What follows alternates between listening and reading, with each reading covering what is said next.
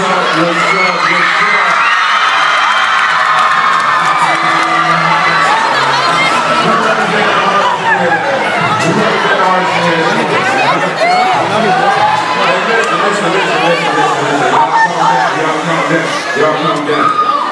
want to know who is going to pass that TAKS test with Listen, listen, I don't want y'all me. I want you to raise your hand if you promise you're going to pass that test with blind courage. What's up, man? How come you ain't raise your hand? You ain't gonna pass? You gonna pass? I'm gonna try this again. I want you to raise your hand if you know you're gonna pass that test with blind courage.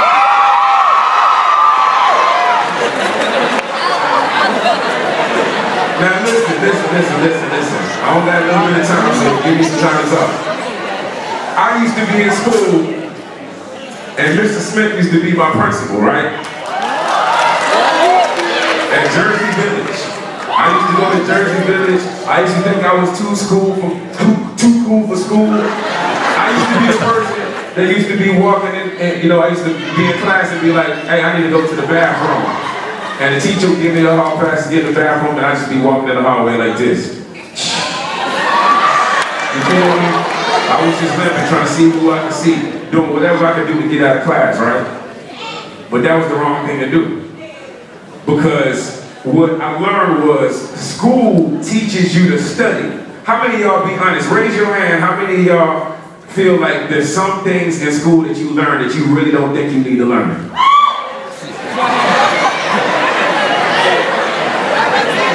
Let me tell y'all something, man. One thing about school is it teaches you to study. It teaches you to study and memorize things, right? A lot of y'all got a test tomorrow, and a lot of y'all ain't even study, right? Now, how many of y'all want to be a basketball player here? Anybody want to be a basketball player? Anybody want, anybody want to be a football player? Anybody want to play sports at all? Anybody want to be an entertainer? Who want to be famous, period? Well, y'all better learn how to study. I'm gonna tell y'all why y'all need to learn how to study. Now listen, listen, listen, listen. This is why. Now, no matter what you do, I don't care if you're gonna be a doctor, I don't care if you're gonna be a lawyer, I don't care if you're gonna be a rapper, you need to learn how to memorize things. This, like, I, I used to take Spanish class and I never knew why they had me learning all this Spanish. I was like, man, I don't need to know that. You know how many Hispanics are in Houston alone?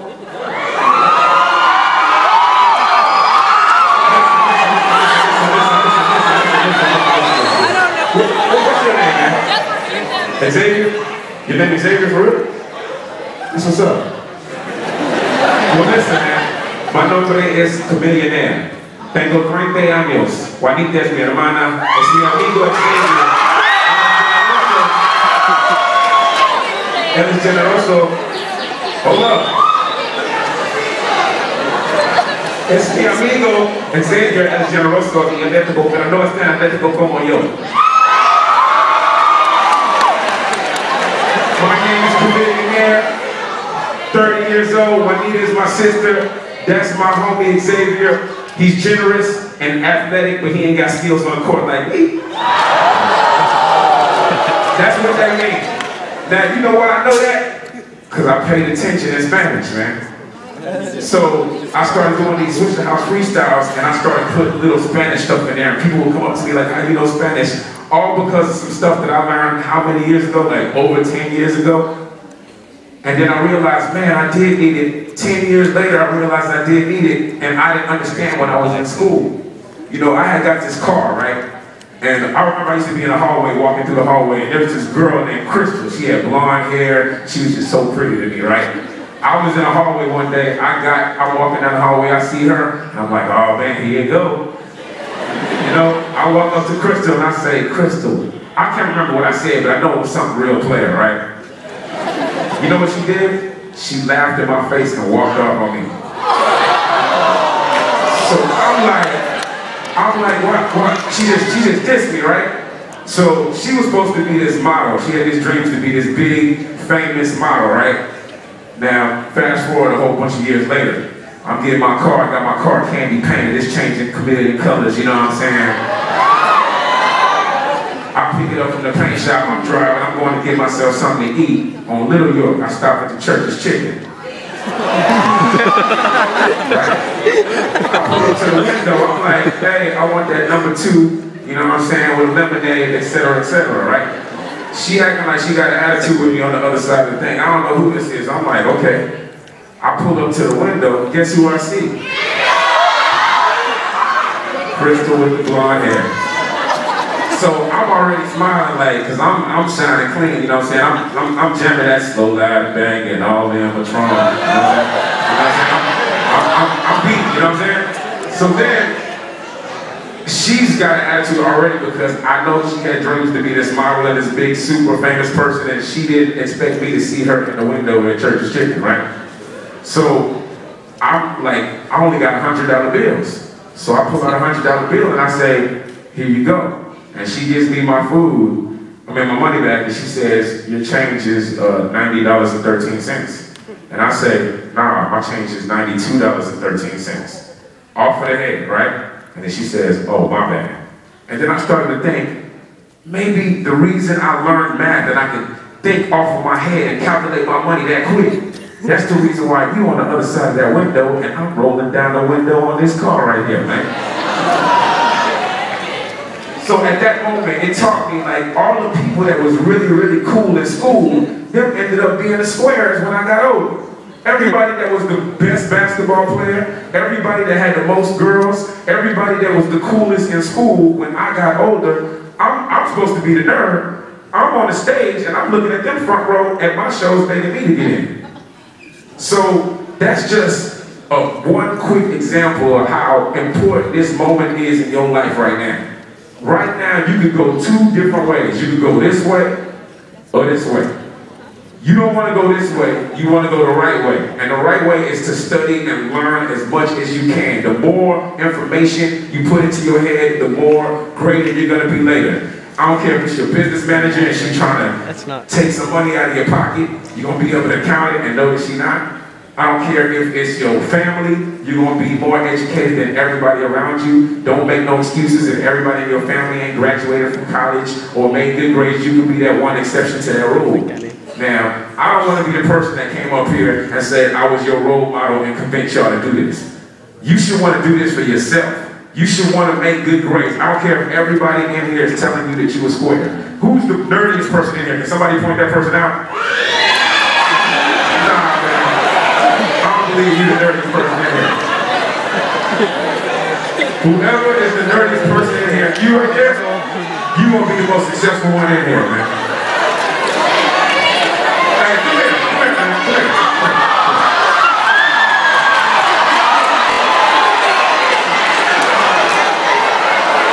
W kan.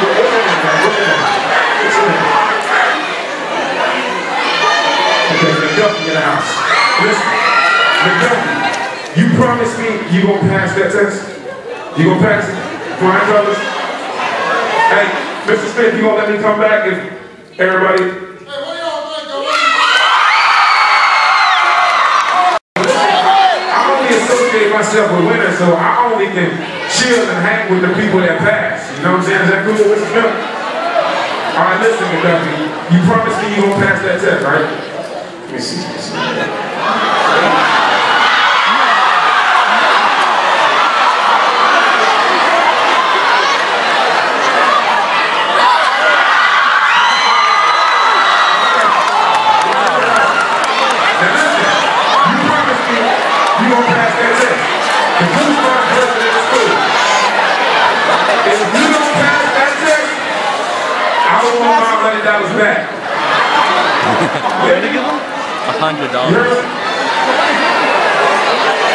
Pass that test, oh, he better pass. No matter of fact, I don't want a hundred dollars. I want two hundred back. You owe me. Give me a hundred. See how y'all get on the side of money? If you want to make money in the future, you gotta pay attention right now. Is anybody balling in here? Who balling in here? Go raise your hand. You ain't balling, your parents balling. You not balling? You wanna ball? You, you know what I did, man?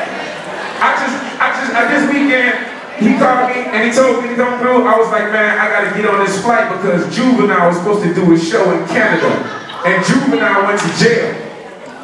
Yeah, he got arrested over some tickets or something and went to jail. So they called me the day of and said, you wanna come do this show? I said, yeah, I wanna come do the show. How much you gonna give me? He told me how much he was gonna give me. I got on that plane, went to Canada, went and did the show, and flew all the way back here to come here right now. See, that's why my shirt's still rainbow, man. So if you want to be a baller, and then I was actually gonna take my hat off, man. I was gonna take my hat off, take my chain off, because I know how you're supposed to do in school. And when I was in school, they said, oh no, you can't wear no hat. But y'all got to follow the rules. I made it to a place in my life where I could make the rules. You understand what I'm saying? So if you want to be a boss, you want to be a baller, you better pay attention now, man. You better get these grades straight. I have, in my last story, I have a, a, a person in my family, a, a stepbrother, and um, he's still in school right now. But all his friends, they made it out of school. And you know why all his friends, they made it out of school? Because every time I call him, I'll be like, what you doing? He said, man, I'm about to go hit this party. He don't never study. He never does. He's a very smart kid, but he thinks he's too good for studying. And all his friends that might not be as bright as him made it out of school. And he's still in school and got student loans up to his neck. Now, he drives a broke down Honda Civic with, uh, uh, what's that, a donut on one wheel? He ain't even got the donut up on one wheel. But keep in mind, he my stepbrother. He's supposed to be balling. He's supposed to be in the Phantom. But you know why he ain't in no Phantom? Because he expect me to do it, and life is about his decisions. He the one that got himself in that position. He could be rich right now. But because he decided that he don't want to study and he want to be too cool and he want to chase girls all around, he's in a Honda. There's nothing wrong with a Honda if that's what you want.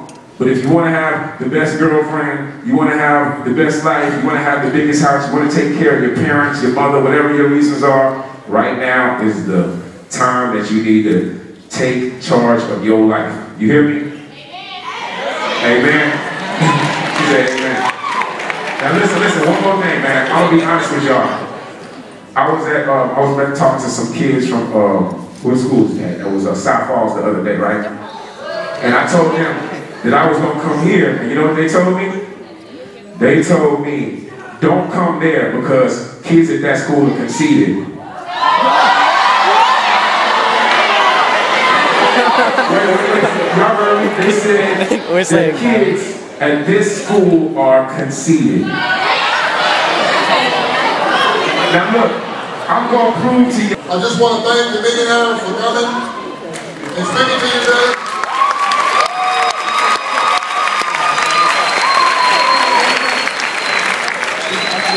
There are two more people I want to thank because they kind of made it possible for me to connect to Chamillionaire. One is Felicia Brown. You in the back, Miss Felicia? She's in the back there.